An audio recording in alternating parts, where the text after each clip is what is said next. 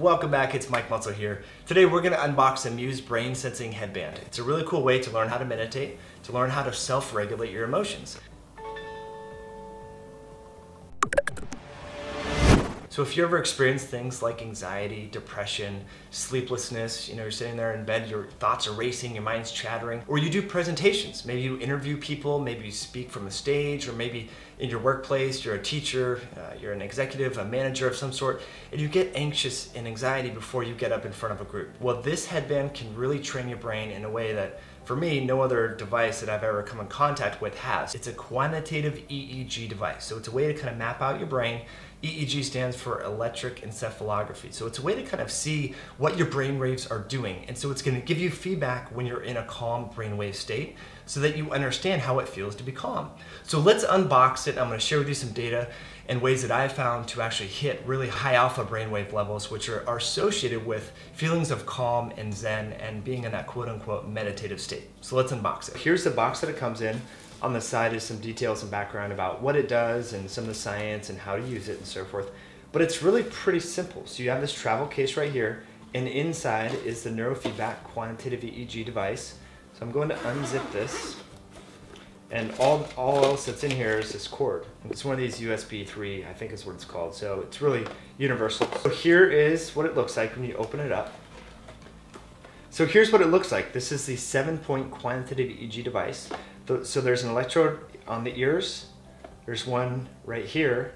Then there's two in the forehead and then some other sensors here that help to make sure that it's calibrated. So the first thing you need to do is charge it. That was one lesson that I learned. I wanted to use it right away, but, and so there's two different charging ports.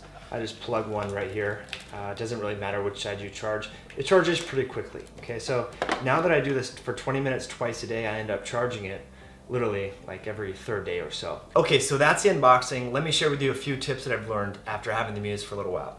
The first things first is I like to pair it before I put it on my head because otherwise you're gonna take it on and off a few times. So what you do is you just hold the button once.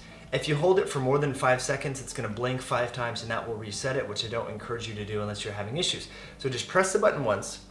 Then I put my phone on airplane mode. That's important because you want to get all these messages about Facebook, Instagram, Twitter, uh, texting and so forth while you're trying to meditate.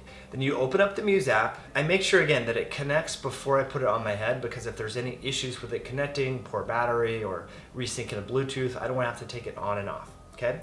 So what it's doing is it's thinking. Sometimes it takes a few seconds. Now, what I've noticed is you have to go into the settings panel on your iPhone and actually uh, sometimes make sure to manually um, sync it. So now that I'm here where it says check your signal quality, what I do is then I put it on my head, all right? Now, if you have longer hair like me or you're a woman and with long hair, you gotta kind of finagle it a little bit. If you, I notice that if you have hair around your earlobes, you know, kind of like me, you gotta push it back. Sometimes I'll have sunglasses on and I'll move that back. So now it's thinking. And again, sometimes it syncs right away, other times it takes a little while. Sit in a comfortable position and close your eyes. So it goes through this one minute calibration sequence. Now, sometimes I get annoyed by this. Try not to let yourself get annoyed. I start meditating right here. So I take a deep breath. When you hear each category, try to think of as many things that fit in that category as possible. Ready? Here's your first category. Movies. It will ask you, you know, name kitchen utensils, name places in North America, name shapes, name, you know, top websites. It goes through these various things and it'll let you have 15 seconds for that category, then it'll switch category. This is, um, again, only a one minute calibration, but it does it every time you start this up. So what I like to do is just sit there and start meditating, start breathing, take a scan of my body, feel any spots of tension, any pressure, any pain points, any itches, you know, just try to be present right away and then think of those things casually, but don't let it stress you out. So after that one minute calibration sequence, then what you're gonna be able to do is meditate. Now, once you've done, say, a 10 minute session and you wanna do another 10 minute session, once it's calibrated, you don't have to recalibrate, which is pretty cool.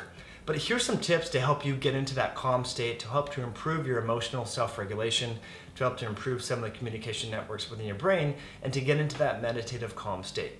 What I found, number one, is that by doing yoga beforehand, even if it's just doing a downward dog, stretching out my hip flexors, doing a happy baby pose, doing, you know, lotus pose, you know, going through a couple of poses, it really helps to accelerate that process of getting into that meditative high alpha brainwave state. Now, when you're in that state, what's going to happen is birds are going to chirp and the ocean waves are going to become calm.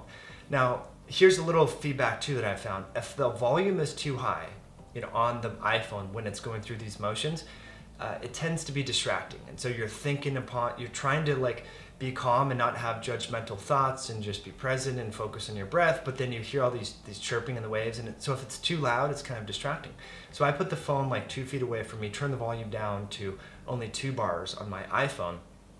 That way I can hear it just enough so that I know that when I'm calm, I can again help that helps me with this neurofeedback process and training of my brain to know when I'm in a calm state versus a you know disruptive state but it's not overpowering. If it's too loud, you're going to be distracted by it. So those are two tips that I found.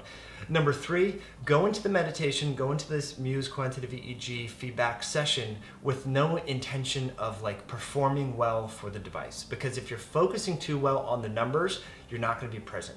So I just focus on improving brain health. That's my intention.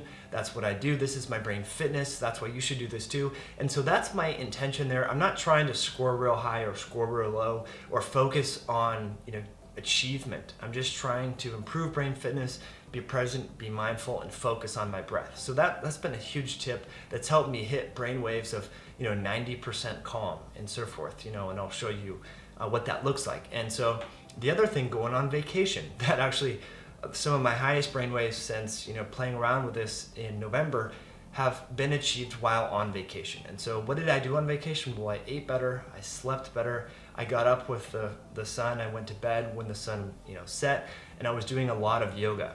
So it goes back to that first tip that I shared with you. If you do a little bit of yoga before you do the quantitative EEG device, but you know this Muse biofeedback device, it can really help you to get into that calm state. Number three, what I found is taking Xymogen's Relax Max. It's a really nice formula that has myoinositol, theanine, taurine, GABA, and magnesium that helps to improve your quantitative EEG scores. So there you have it, the Muse Brain Sensing Headband. Let me know what you think. Type in a comment or question below this video. Have you done any neurofeedback before? Maybe have you been meditating? What do you think about all this stuff? Let me know. Either way, you can also check out the links below this video. I'll have links to the Amazon link where you can learn more about Muse and buy that off Amazon. If you're Amazon Prime customer, you may like that. And also, if you go to meditationaid.com, you can get uh, directly in touch with Muse and check out some of the videos that they have and learn a little bit more about their device. So thanks for tuning in. Thanks for subscribing. I appreciate you guys, and we'll catch you on the next video.